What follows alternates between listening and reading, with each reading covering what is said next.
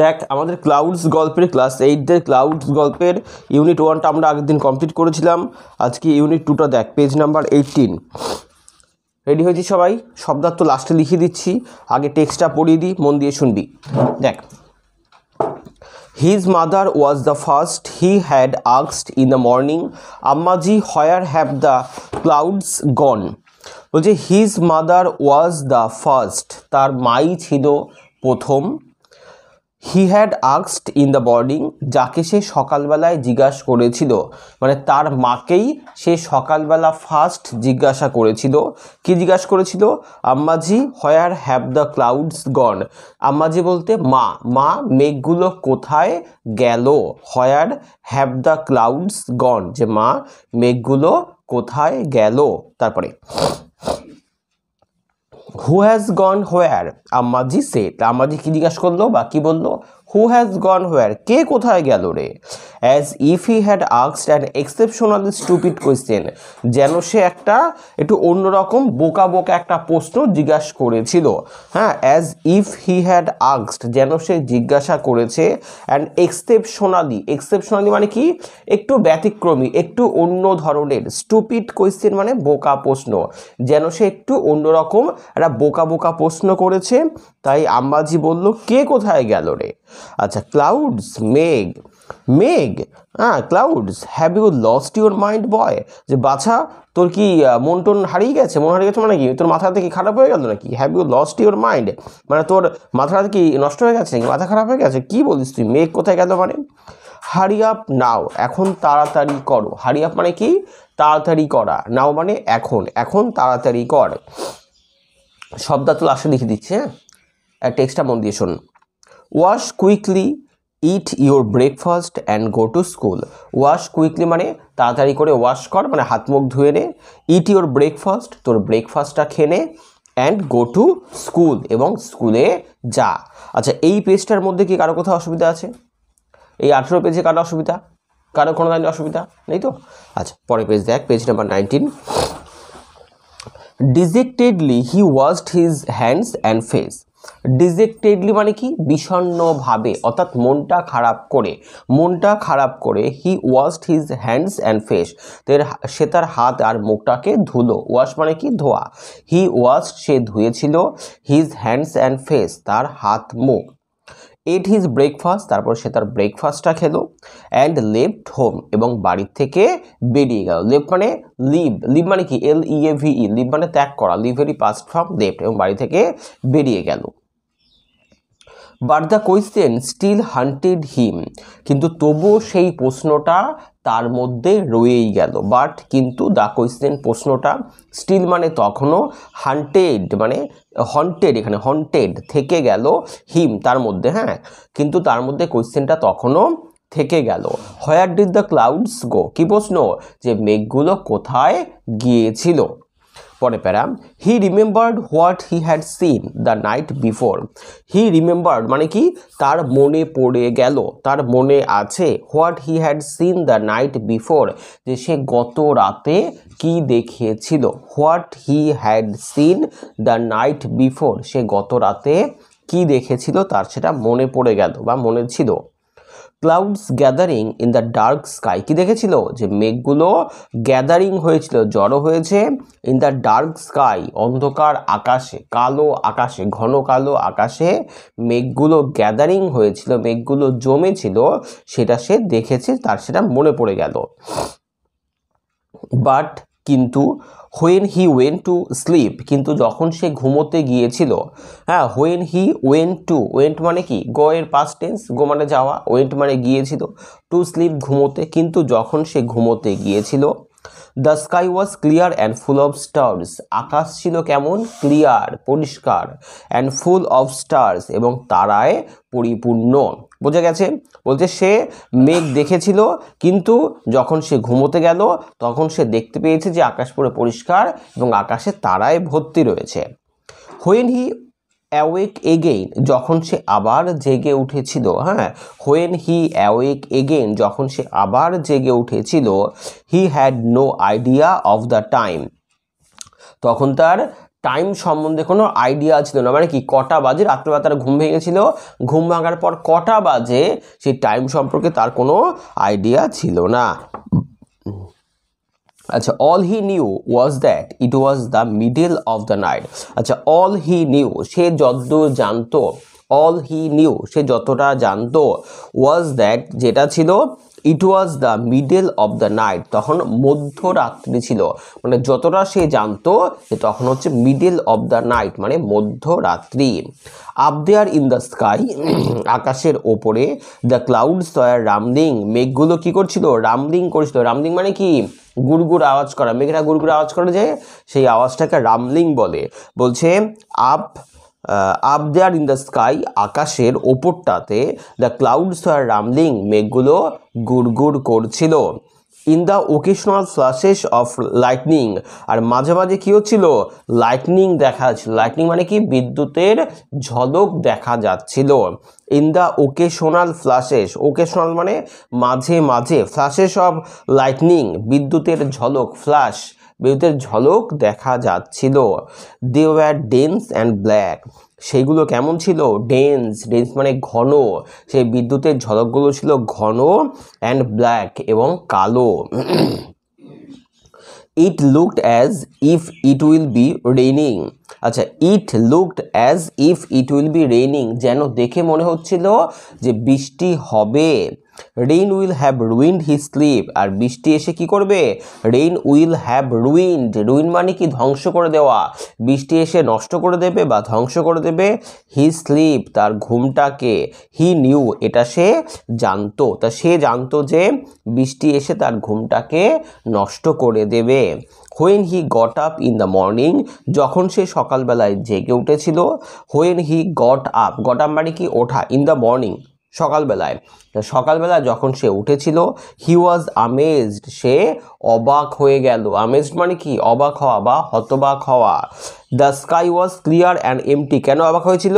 মানে আকাশটা ছিল ক্লিয়ার অ্যান্ড এমটি একদম পরিষ্কার পরিচ্ছন্ন এবং এমটি মানে কি? খালি, ফাঁকা, কোনো মেঘ নেই আকাশে, একদম পরিষ্কার পরিচ্ছন্ন আকাশ। Not a trace of rain in the courtyard এমনকি উঠোনে বৃষ্টির একটা ফোঁটাও নেই। নট এ ট্রেস ট্রেস মানে কি? চিহ্ন অফ রেইন বৃষ্টি, বৃষ্টির একটা চিহ্নও নেই। ইন দ্য কোর্টিয়ার্ড কোর্টিয়ার্ড মানে কি? উঠোন, উঠোনে বৃষ্টির একটা চিহ্নও নেই। He was surprised and sadden he was surprised সে অবাক হয়ে গেল। হি ওয়াজ সারপ্রাইজড মানে সে অবাক হয়ে গেল অ্যান্ড স্যাডেন্ড এবং দুঃখ পেল। স্যাড হওয়া, দুঃখ পাওয়া, তাই না? সে দুঃখ পেল। The clouds had moved across the skies without shedding shedding a drop of rain কি বলছে? দ্য ক্লাউডস হ্যাড মুভড যে মেঘগুলো চলে গেল অ্যাক্রস হ্যাঁ মুভড অ্যাক্রস চলে গেল দ্য স্কাইজ হ্যাঁ without shedding a drop of rain এক ফোঁটা বৃষ্টিও না ঝরিয়ে উইদাউট মানে কি? না করে, না ঝরিয়ে শেড মানে কি? ঝরানো ড্রপ অফ রেইন বৃষ্টির ফোঁটা হ্যাঁ? মেঘগুলো আসলো আর বৃষ্টির একটা ফোঁটাও না ঝরিয়ে চলে গেল। আচ্ছা এইটুখানির মধ্যে কারও অসুবিধা আছে?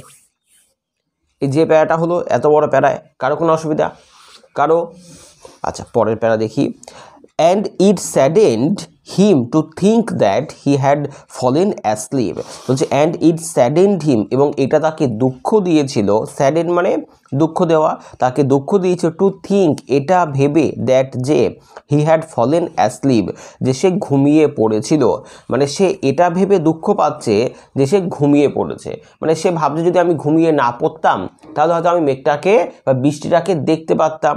আচ্ছা হ্যাড হি স্টেইড অ্যাওয়েক হ্যাঁ হ্যাড হি স্টেইড অ্যাওয়েক যদি সে জেগে থাকতো পারহ্যাপস সম্ভবত the clouds would not have disappeared like that হ্যাঁ তাহলে হয়তো the clouds would not have disappeared মেঘগুলো চলে যেত না ডিসঅ্যাপিয়ার্ড হয়ে যেত না অ্যাপিয়ার মানে উপস্থিত হওয়া আর ডিসঅ্যাপিয়ার মানে কি অনুপস্থিত হওয়া, মেঘগুলো চলে যেত না লাইক দ্যাট এইরকমভাবে মানে সে এবার নিজে নিজে ভাবছে যে আমি যদি জেগে থাকতাম, তাহলে হয়তো মেঘগুলো আর যেত না। It would have been the season's first rainfall এটাই হতো এই ঋতুর প্রথম রেইনফল প্রথম বৃষ্টিপাত, ঠিক আছে? এটাই হতো এই ঋতু মানে এই যে বর্ষা ঋতু এসছে, তার প্রথম বৃষ্টিপাত হতো এটাই। পরে para the month of the rains the month of the rains was slipping away the month of the rains মানে বৃষ্টির যে মাস ওয়াজ স্লিপিং অ্যাওয়ে হ্যাঁ সেটা চলে যাচ্ছিল বা চলে গিয়েছিল স্লিপিং অ্যাওয়ে চলে গেছিল, ঠিক আছে? বৃষ্টির মাসটা চলে গেছিল। He looked up once again at the skies সে আবার ওপরে আকাশের দিকে আরও একবার তাকালো। He looked up looked up মানে ওপরের দিকে তাকালো। ওয়ান্স এগেইন আরও একবার ইন দ্য স্কাই আকাশের দিকে তাকালো। Not a single patch of cloud সেখানে আকাশে কি মেঘের কোনো চিহ্নই নেই।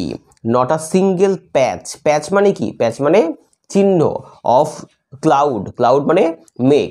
মেঘের কোনো চিহ্ন আকাশে নেই।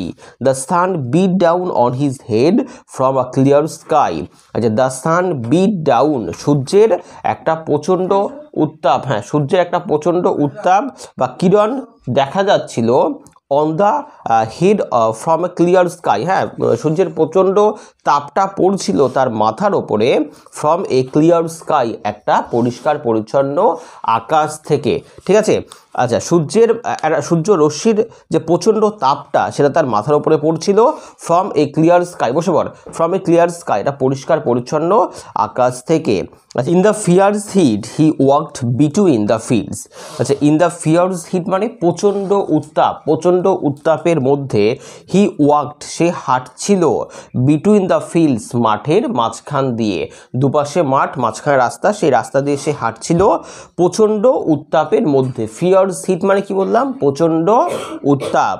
আচ্ছা তারপরে his body was on fire তার বডিতে যেন আগুন ধরে গেছে। মানে এত উত্তাপ, এত তাপ পড়ছে যে তার বডি যেন পুরো গরম হয়ে গেছে হ্যাঁ আগুন ধরে গেছে। হিজ থ্রোট ড্রাই আর তার গলাও শুকিয়ে আসলো। থ্রোট মানে কি? গলা ড্রাই মানে শুকিয়ে যাওয়া, তার গলাও শুকিয়ে গেল।